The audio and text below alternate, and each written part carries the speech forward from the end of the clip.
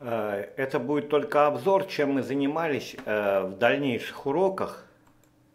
То есть прежде чем э, нам писать сайт, нам надо научиться выбирать с базы данных все, что угодно. Иными, иными словами, мы разобрались с выборкой объектов кересет и методами. Да?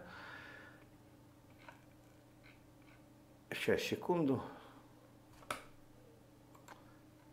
То есть э, выборка объекта имеет большое количество методов. Здесь есть некоторые ключевые моменты, которые я учел. Поэтому э, работать банально просто. Надо просто понять. Вот именно вот эти вот понять мы как раз и занимались. И э, разбирались с этим. Э, это нам даст возможность легко работать. Зачем мы это делали?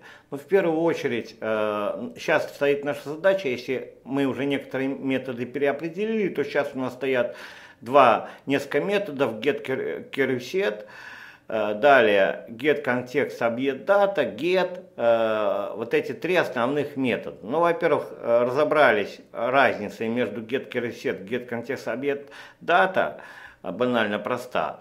И далее нам, а, по сути дела, надо что научиться делать? Выбирать э, объект из базы. Я вам сказал, всегда держите э, в голове очень простую вещь. Для программиста, веб-программиста, в том числе и для э, Django-программиста, есть три простые вещи. Сначала надо объект поместить, разместить в базу данных, тогда у нас. Далее извлечь его нужным нам образом и показать нужным нам образом. Для этого нам есть, существуют эти методы. Мы с вами в данном случае использовали э, работу э, Jupyter Notebook и э, научились это делать.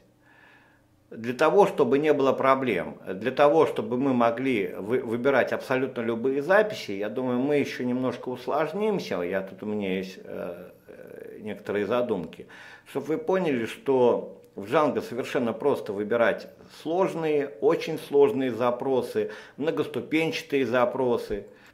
Э, поэтому уроки, уроки здесь и вперед.